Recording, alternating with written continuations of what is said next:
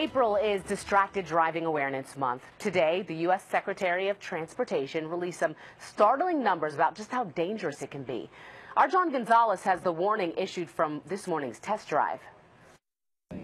Good afternoon. We are on a test track this afternoon here in parking lot 8 at RFK Stadium, being chauffeured around, if you will. And today, and only today, and only here at this lot, driving and texting is being allowed. Type in WXYZ. It's all part of a demonstration on Distracted Driving Awareness Month, a driving demonstration. And as you can see, for our driver Heaven, it has been quite a challenge.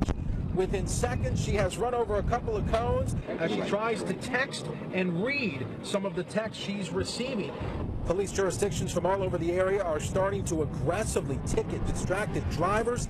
The Department of Transportation administrator tells us about 10% of fatal crashes in the country are linked to driving, just like what you're seeing here.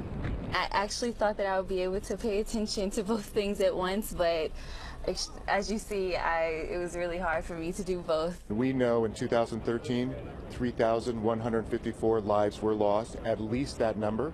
424,000 people injured. And one of our vulnerable groups are teens, 244 lives. That's our future. And we're talking about texting and everything else we're doing in cars, not to be driving. Haven't learned exactly why so many have paid so dearly, many with their lives. So this month and beyond, turn on your engine, turn off your phones. At RFK Stadium, John Gonzalez, ABC 7.